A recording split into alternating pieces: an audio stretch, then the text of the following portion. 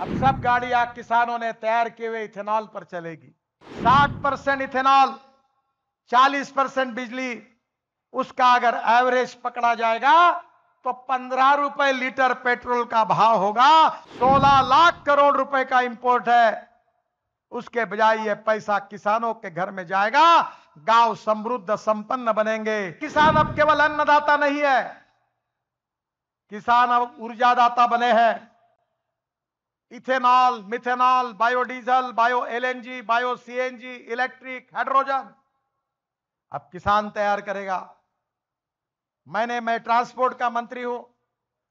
मैंने स्कूटर लाई है, बजाज टीवीएस और हीरो की, जो गन्ने के जूस से, मोलाइसिस से, मक्के से, चावल से जो इथेनॉल बनेगा, उसके ऊपर हमारी स्कूटर, ऑटो रिक्शा और कार चलेगी। हमारा किसान केवल अन्नदाता नहीं, ऊर्जादाता बनेगा। यह हमारी सरकार की सोच है। और इसीलिए अब मैं अगस्त महीने में टोयटो कंपनी की गाड़ियों को लॉन्च कर रहा हूँ। आपको पता होगा कैमरी करके गाड़ी थी। वो इनोवा है। अब सब गाड़ियाँ किसानों ने तैयार किए हुए इथेनॉल पर चलेगी।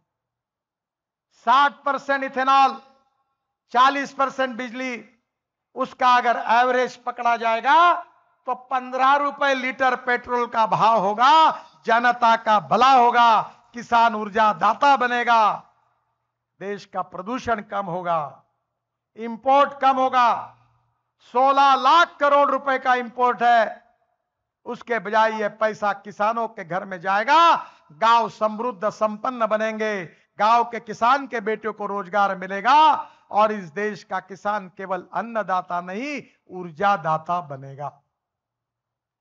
अब मैंने आगे भी लाया कि सीएसआईआर और सेंट्रल रिसर्च रोड ऑर्गेनाइजेशन ने संशोधन किया है कि जो परली है, परली से डांबर तैयार होगा।